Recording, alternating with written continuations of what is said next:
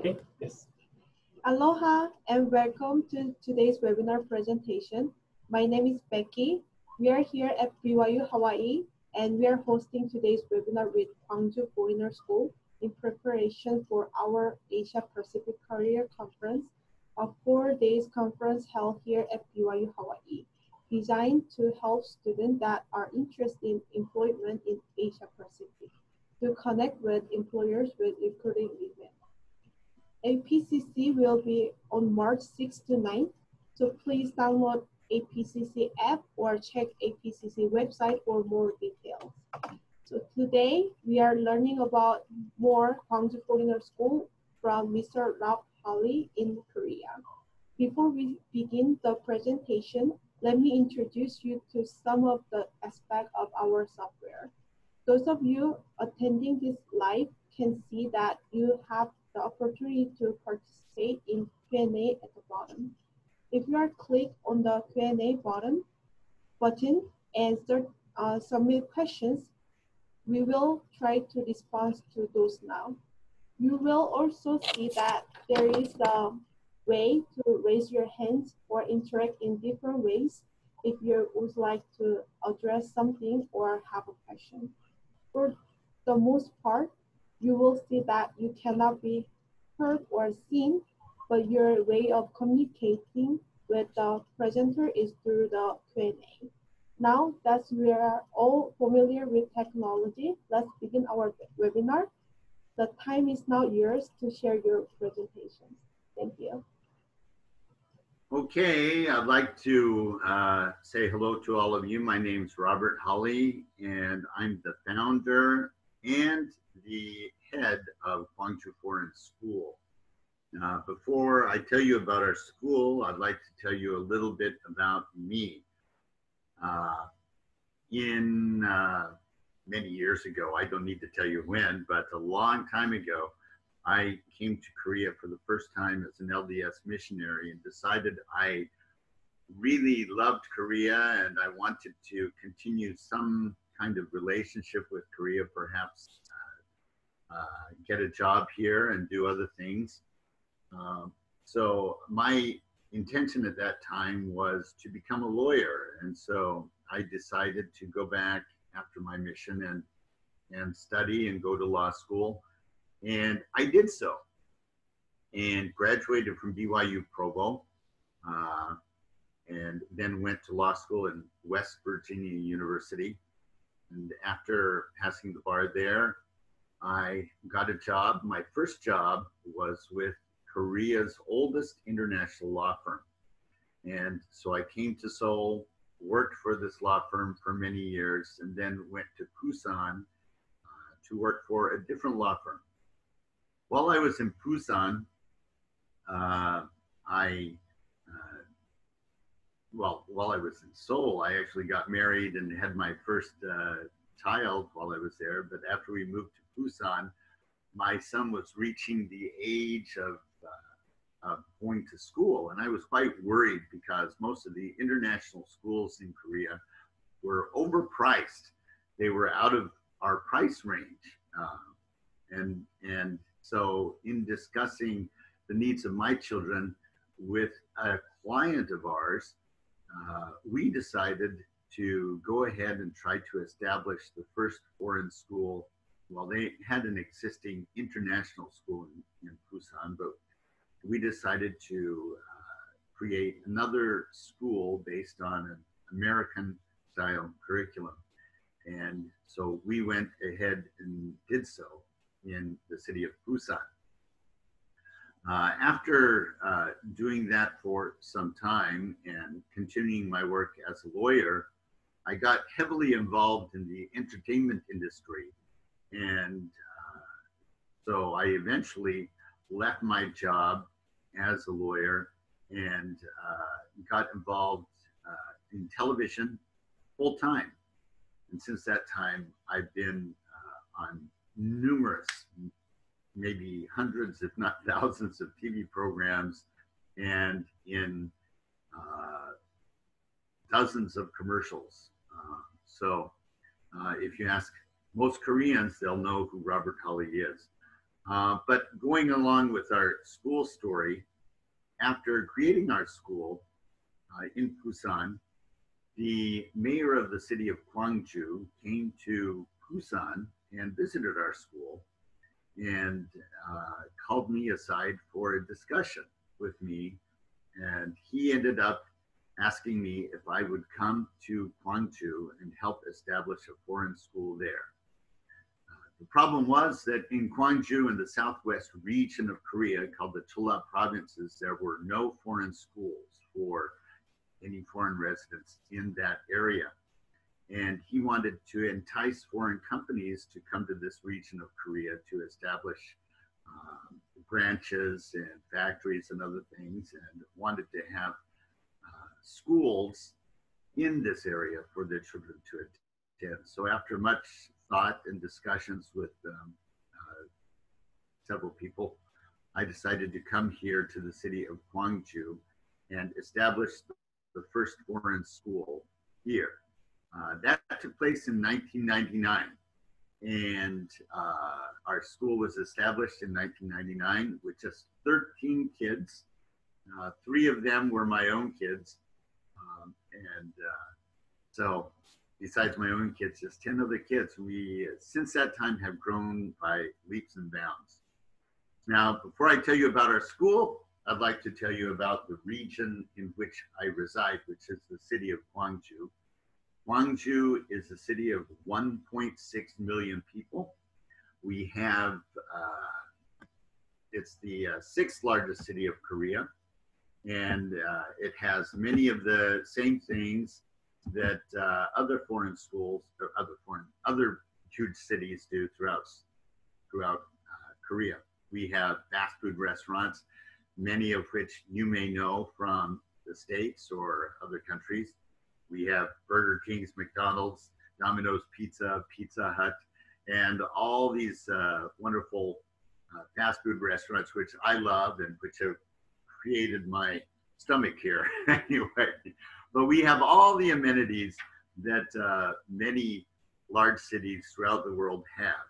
There is nothing that you cannot find uh, in Gwangju. You can just about purchase anything and eat anything that you want. They have uh, restaurants which cater to cuisines from all over the world. Uh, it's a wonderful place to live. We have uh, temperatures which range from below zero, uh, that's centigrade, below zero centigrade in the wintertime, and then it gets uh, hot in the summertime. So we have four seasons and it's just a beautiful city to live in. Uh, the city is famous for many things. Gwang means light, so it's the city of light, which they call. There's a huge mountain behind the city called Mudeungsan, and Gwangju is famous for many festivals. The biggest festival which they have is held every two years. It's called the Gwangju Biennale. It's an art festival which they have uh, in the city. But there are many other festivals and many other things to see and do. Gwangju is also famous for a kimchi festival, which they hold every year.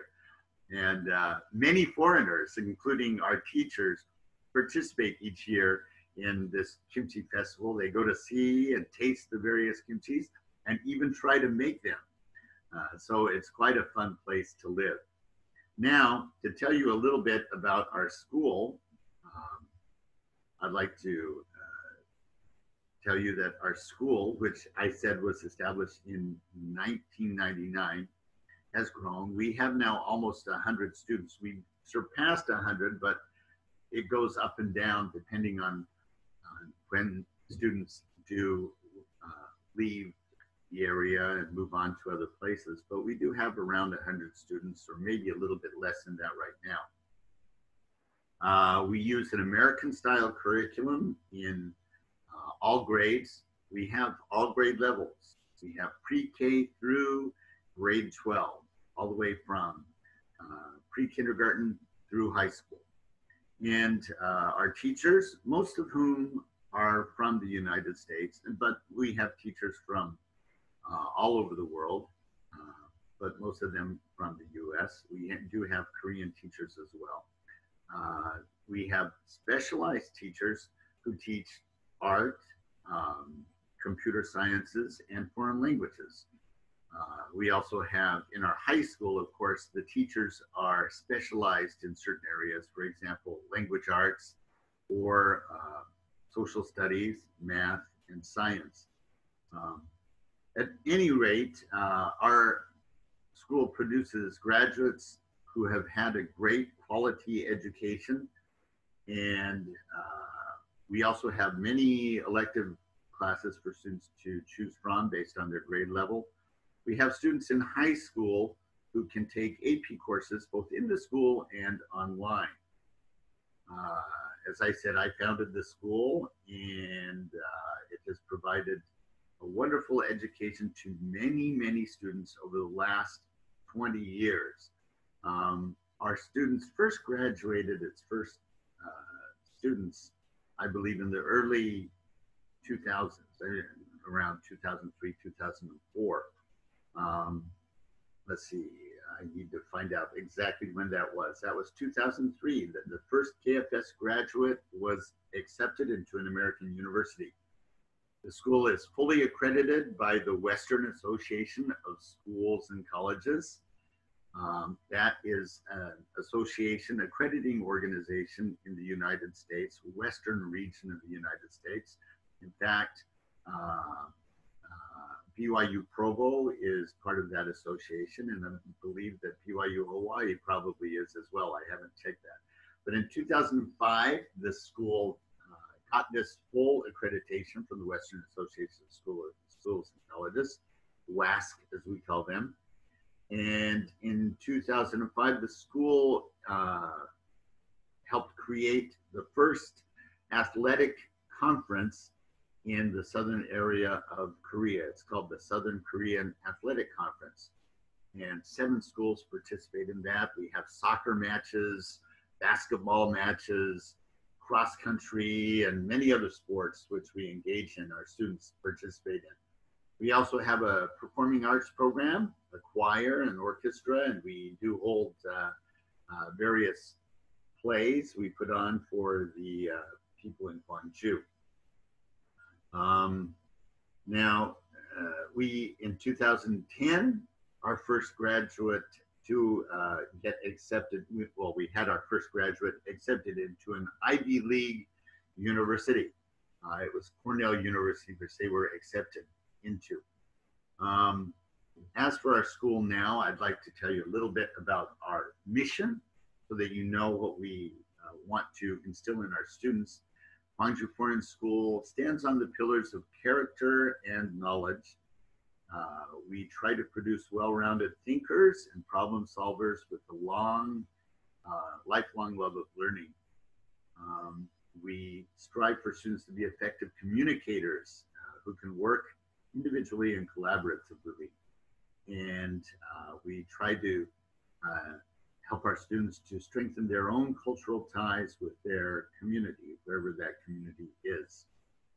Um, as for uh, our students, Many of them have been accepted into universities throughout the United States, Boston University, uh, Central Michigan University, Colorado State University, Cornell, DePaul, Drake, Drew, um, Brigham Young University, Hawaii. Many of our, uh, of our graduates go to university there. Uh, they've been accepted to all the BYUs, BYU Idaho and BYU Provo as well um, George Washington University. I can go through this list, but it would take probably a full day to go through the list of universities in which our students have been accepted. Um, but we're very proud of our students. As I was saying, we have teachers at all levels. High school teachers, middle school teachers, elementary school teachers. We prefer our teachers to be accredited uh, not accredited, um, to be certified teachers. Sorry, I'm getting a little mixed up here. We pre prefer that they be certified um, or that they have several years of experience. So in terms of what type of uh, students uh, might be interested in working for us, we look for students who are either education majors or general university studies majors. But that's not all. We want students who major in math or social sciences or English as well. Uh, as uh, and then in addition to those things, art, we're looking for an art teacher right now, as well as an elementary teacher as well. So we have, I believe, currently available three teaching positions at our school. Um, teachers that come to our school are able to have, well, we can say room and board, but actually we provide each teacher with their own apartment. Uh, the apartment is mostly furnished. The teachers are asked to bring their own bedding materials, for example, sheets and whatever, but all the apartments have beds and televisions and everything else, all the amenities that you might need. Uh, so the teachers get that rent free. You don't have to pay rent while you are working at our school. Uh, you get free lunches at our school as well. We provide health insurance uh, for our teachers and uh, many other job benefits. Of course, if you're a teacher, you get a long vacation as well. Um, so I'd like to show you a few little videos from YouTube. So I'm going to share my screen to show these videos that will introduce you to our school.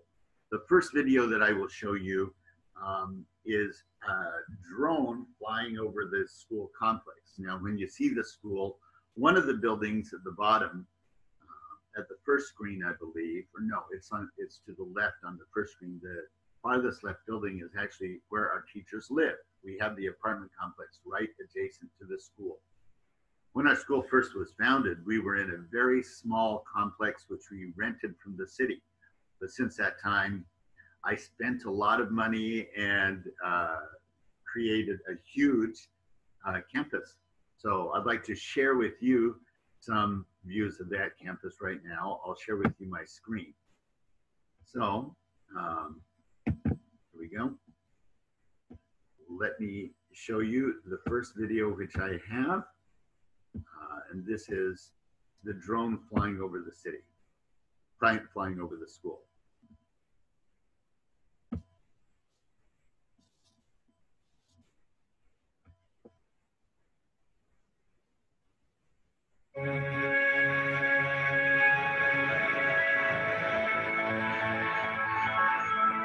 This is our campus.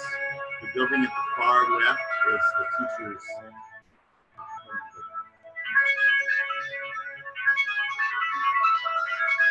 It's a snowy day when I, it was a snowy day when I filmed this.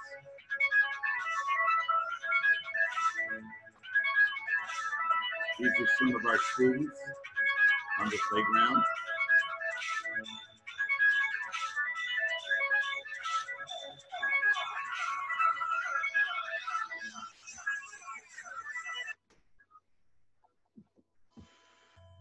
Hope you enjoyed that video. Now I've got to uh, show you a second video, which uh, these, I'm going to show you actually two other videos, but they're all short. They're probably a minute long.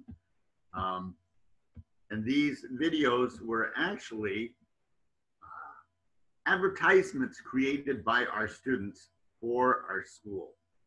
So let me show you the first of these right now. They're just posted on YouTube. You can go back and see them if you'd like.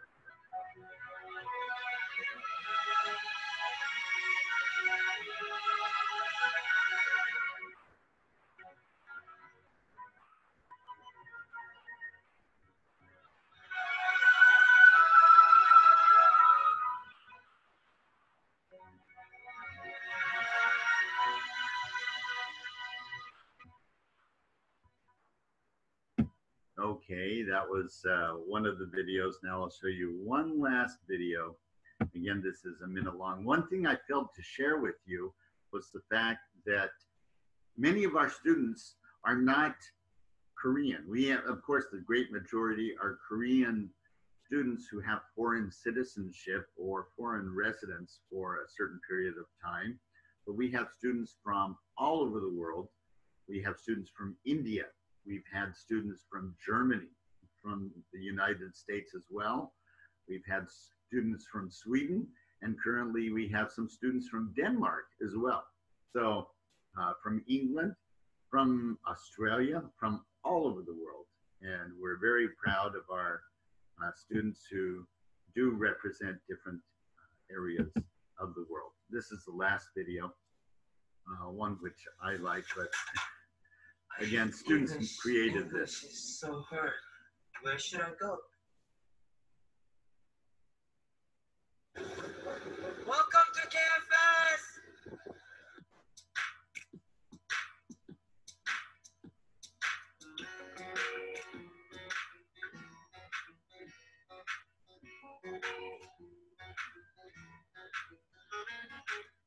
Can't get my from thoughts of you. Two weeks ago today, we were just coming true. Now I think it's time that we decide. Love is our friends, and we would be fools to fail. But our hearts are kissed, so think it over. Let me know, girl, cause you and I easier as us. Don't need everyone, just walk us outside. The trouble of it.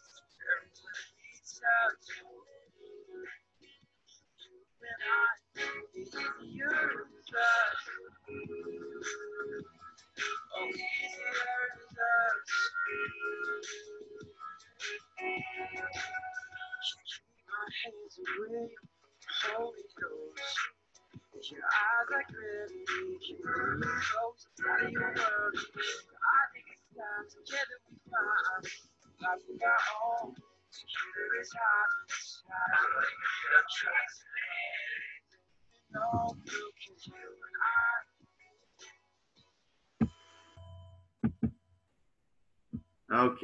Um, now I need to figure out how to get out of this.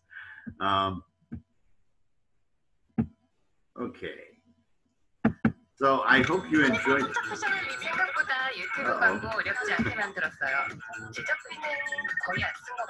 Okay. Sorry. Uh, so that basically is our school, and I'm hope you enjoyed my presentation so far. I'm willing to continue to answer your questions if you have any questions. So, are there any questions? Yeah. First. Introduce yourself first and then. Okay. Yeah. Okay, yeah. So, um, can I talk Yeah, again? yeah. Oh, okay. Hi, I'm Marcia. I'm from Huh? Indonesia, actually. And Uh huh. I'm actually studying hospitality and tourism management right now. Uh huh. I'm taking a certification in TESOL, and as a requirement for the in, for the certification, we are supposed to do an internship. And Uh huh. I'm very interested in doing an internship at a school where uh, I'm familiar with the living system. I uh, I grew up like attending international schools, which is Uh what huh. I'm interested in in International. Yes. It's like just by looking at the videos, it's they they remind me so much of the schools that I attended uh, Uh-huh. in high school and like growing up. So Uh huh. Was- my question is, are you open for internships or in Yes. Um, we may, uh, we, we do have some internships we are thinking of doing since uh, uh, Kenny was at our school last, last week, I believe. And uh, we discussed with him as well as with the other principal, we have a principal which we employ at our school, the possibility of having interns come. So this is an open possibility and we are looking at it and hope that we can get some BYU Hawaii interns to come and and serve at our school for some time. I will be at the APCC, the Asia Pacific Career Conference, in two weeks. And so if you're interested in internship, then I hope you can talk with me then. What will you have us prepare for the, for the meeting or for the interview? Pardon me? Um, what, what do you want us to prepare for the meeting, the interview? What, Well, just prepare like you would for any other interview. I mean, uh, have your resume and and and when you meet with me during the APCC, perhaps, then you can, you know, brag about yourself. That's something we all like to do. And so if you can brag to me about yourself and tell me what good points, what you have to offer our school, then look at it and and perhaps uh, find something for you to do. Just a quick question. Uh-huh. You mentioned um, uh, you want to see students' resume, but do you prefer uh, English resume or like Korean uh, resume in Korean, like or both of them? I ask me again. I can't hear you very well. Oh, So actually, I have a question about uh, the documents students Uh-huh. prepare. So do you, would you prefer um, like English resume or like uh, Yes. Everything in both of them? No, no, because we're an international school, everything is done in English at the school. So we'd like your resume in English. Okay. Um, you don't need to speak Korean at all to work at our school. Uh, most of our teachers don't speak Korean, except those who are Korean. So, uh, yes, an English resume is fine. All those kind of All right. Thank you so much. And then, as you mentioned that you have around hundred students, Uh huh. how many like teachers is working in the school now? So because we have perhaps I I around I would guess 16 teachers. So we have teachers at every grade level, um, which would mean 13 13 teachers. Plus we have our art teacher and language teacher and other teachers as well. So there's about 16 teachers that we have. We have other staff members as well. We have cafeteria staff, office staff, and uh, also me and my wife work at the school as well, and our principal. And then there is a one more question the student asked. Uh huh. What subject teachers are you looking for? Language teachers, math, science? Yes, all of them. so we have, I believe, on Handshake we have three three positions um, which are posted. Uh, we're looking for an art teacher right now. I know that for a fact, and there are two other teaching positions available. But normally, um, each year positions open up, then we hire from the open positions, and usually these are elementary teachers, which are general education majors. Um, in high school, the teachers are specialized in math, science, social studies, and English. Uh, we also have a foreign language teacher. In the past, we've had Spanish taught at our school. Now, our foreign language currently being taught is Chinese. That's being taught at the school right now. So,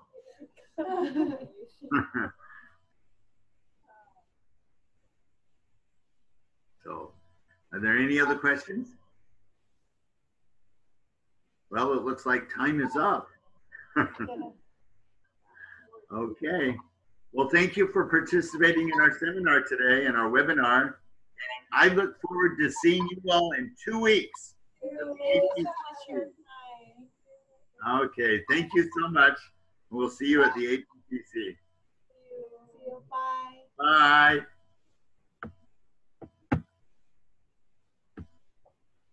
Okay.